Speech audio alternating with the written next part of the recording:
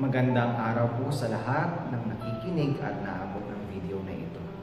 Ako po si Pastor Jess ng Hansa Mission Church at gusto ko pong ibahagi sa inyo ang daan ng kaligtasan sa dalawang parte. Sa unang video, gusto ko pong ibahagi kung saan nagsimula ang problema at sa pangalawang video, ano ang solusyon sa problema ito. Ang title po ng aking mensahe ay ang daan ng kaligtasan. Maaring marami po sa atin ang nagsisimba at may pagkaalam patungkol kung sino ang Diyos.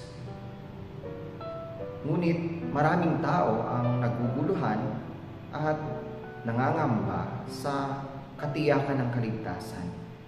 Maaring iba sa atin ay lumaki sa loob ng simbahan, ngunit wala pa pong kasiguraduhan ng kaligtasan. Nilalayo po ng video na ito na bigyan kayo ng malinaw na eksplenasyon patungkol sa kung ano nga ba ang kaligtasan. Gusto ko pong simulan ito sa teksto natin ngayong umaga.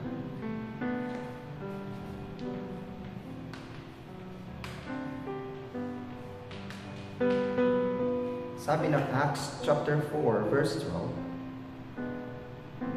that there is no other name given among men for which we must be saved ang kaligtasan po ay masusumpungan lamang sa pangalan ni Heso Kristo.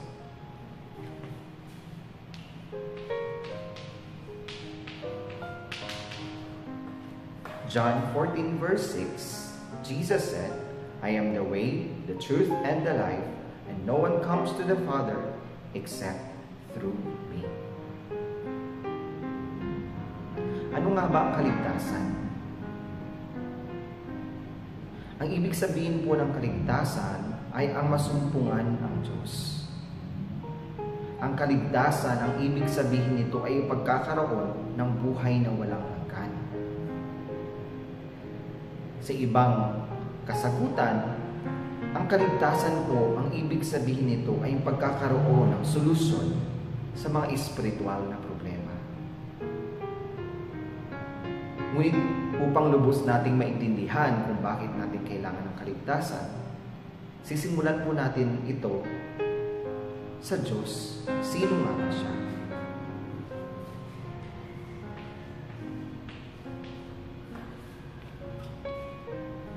Sino ang Diyos? Sabi sa salita ng Diyos, ang Diyos ay walang simula at walang wakas. Siya ay tagapaglikha.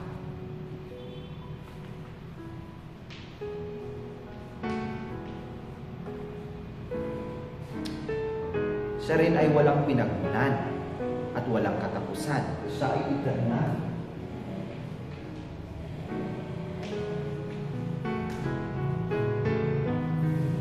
Ang Diyos na lumikha ng langit at ang lupa, siya ay makapangyarihan at hindi limitado.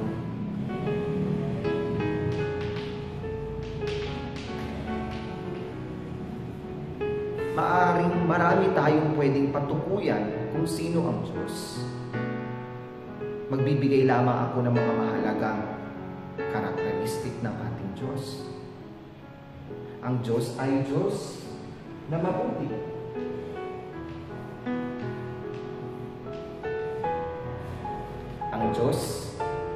Tagapaglikha ay ang Diyos ng pag-ibig.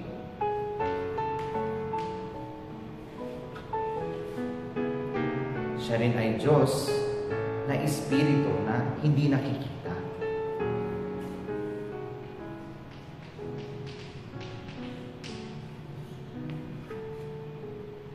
Siya rin ay Diyos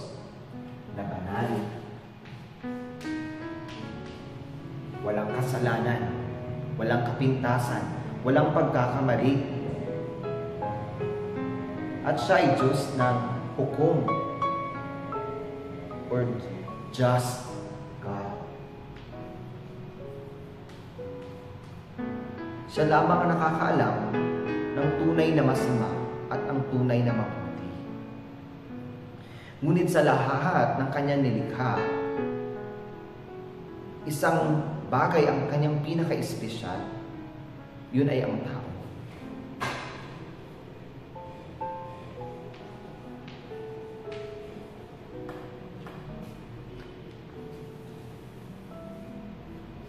So, ang Diyos at ang tao ay may relasyon sa umpisa. Tinatawag itong original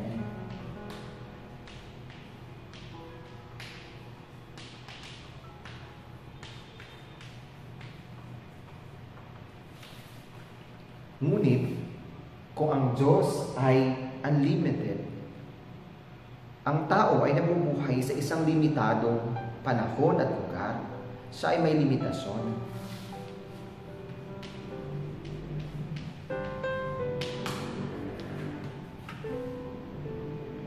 Siya rin ay hindi nabubuhay habang buhay. Temporal. At kung kayang gawin ng Diyos ang lahat ng bagay na walang limitasyon, ang tao ay merong limitadong resources lamang. Ngunit, pinagkalooban ng Diyos ng napakahalagang pagpapala ang unang tao.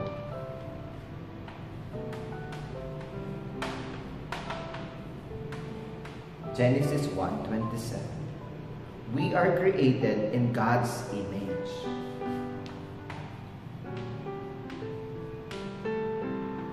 Anong ibig sabihin ng imaheng ito? Gusto ko pong may pailiwanag kung anong ibig sabihin ng imahe ng Diyos. Ito po ay hindi kalarawan o kung merong ilong o mata ang Diyos. Ang ibig sabihin nito, sila ay spiritual being.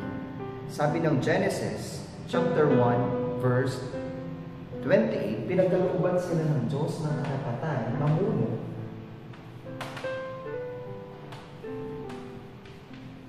Sa sanlibutan.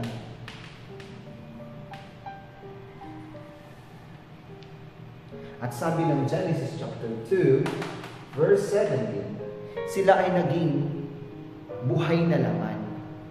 God gave them the breath of life. Ibig sabihin ng imahe, sila ay may espiritu ng Diyos. Sila ay spiritual being.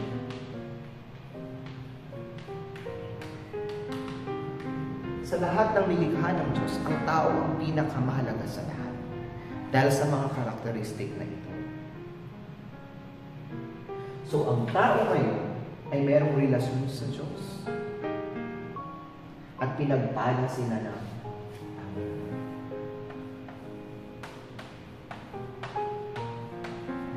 blessed by God. So ang Diyos who is working in the spiritual world ay bigyan niya ng karapatan at kapangyarihan ng tao para pamunuan ang buong sanlibutan sa lahat ng kanyang mga nilikha mula sa mga ibon, mula sa mga hayop, mula sa mga isda na lumalangoy sa tubig. Ito ay may tinatawag na prinsipyo ng pagkalikha. Tulad ng puno, sila ay nabubuhay sa lupa. At ang mga isda ay nabubuhay lamang sa tubig para maging masaya. Ganun din naman ang mga ibon. Sila ay binigyan ng pakpak para lumipad sa himpapawid. Ganun din ang tao. Ang tao ay likha para makasama ng Diyos.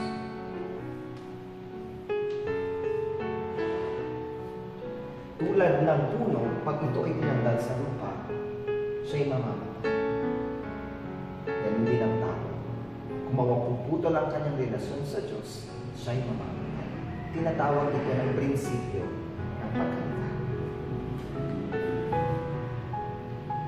Gusto ko pong ibahagi sa inyo ng mas malalim pa upang lugos natin maintindihan ko anong relasyon ng Diyos at ng tao.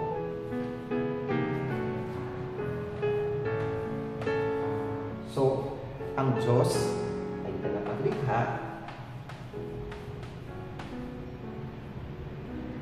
Diyos ay isang ruler na siyang namumuno at pinamumunuan ang langit at ang lupa.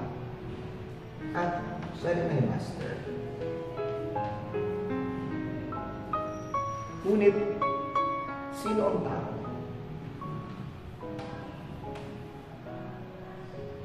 Sila'y hindi tagapaglikha, kundi sila'y creation. Hindi sila ang tagapanguna, kundi sila ay representative o maaaring pwedeng tawagin natin proxy ruler. But hindi sila ang ruler. Hindi rin ang tao ang master. Kung nagbabasa tayo ng Biblia, maraming mga salita ang nagsasabi na ang tao ay isa lamang servant. So ito ang relasyon ng tao, ang Diyos at ang tao. So, ang tao bilang isang nilikha ng Diyos ay dapat silang nakadepende sa Diyos. They must depend on Him. Ang Diyos na ruler sa lahat, pinagkalooban niya tayo ng karapatang pamunuan ng, ng sanlibutan, pero hindi para maging ruler, kundi sumunod sa Kanya. Ang Diyos na master ng lahat, at tayo bilang Kanyang mga servant, ang kailangan natin ay magsilbi sa Kanya. We are called to love God, to obey God, and to worship God. Ito ang relasyon ng Diyos. Ano naman ang mga creature?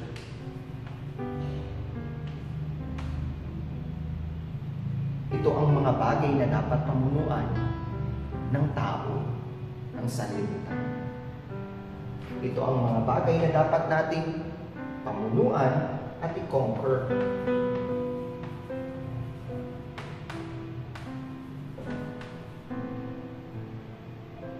Ayon sa, sa, sa Biblia, ang mga nilikha ng Diyos ay pinagkaloob ng Diyos sa tao para magbigay ng mga pangangailangan ng tao to provide. Ano ang dapat i-provide? Ang mga bagay na kinakailangan niya, katulad ng pagkain, para mabuhay.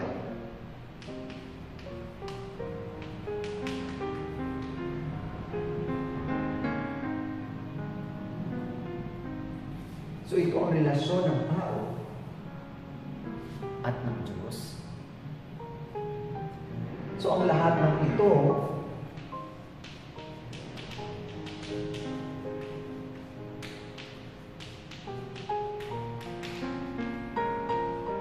ay ipinagkaloob ng Diyos sa unang tao. Ang tawag dito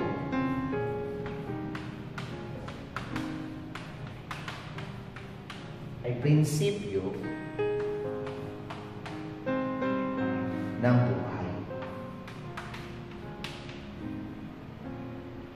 Maraming tao ang naghahanap kung ano ba ang prinsipyo ng buhay o tinatawag na prinsipyo ng tunay na kaligayahan. Sila naghahanap ng kaligayahan sa mga bagay na sa liputan, sa mga bagay na temporal. Ngunit, ang prinsipyo ng pagkalikha ng tao, sila ay nilikha ng Diyos para makasama siya. Ito ang tunay na prinsipyo ng buhay o prinsipyo ng tunay na kaligayahan. Maaring pwede rin natin tawagan na ito ay prinsipyo ng tunay na katagumpayan. Maaring kayo ay nagtapos o makatanggap ng maraming ngunit hindi ito ang tunay na pagtatagumpay. Ang tunay na pagtatagumpay ay ang makasama ang Diyos sa kanyang buhay. So kung ang prinsipyo na to, ang relasyon na ito ay magpuputol, ang tawag dito ay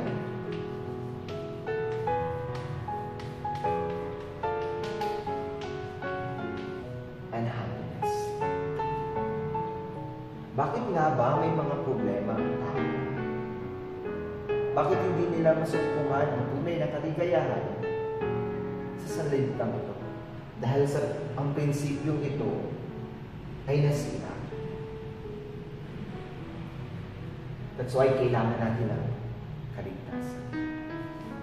Sa susunod na video, gusto ko po ipaliwanag muli kung bakit nagsimula ang mga problema. Maraming salamat sa inyong pakikinig.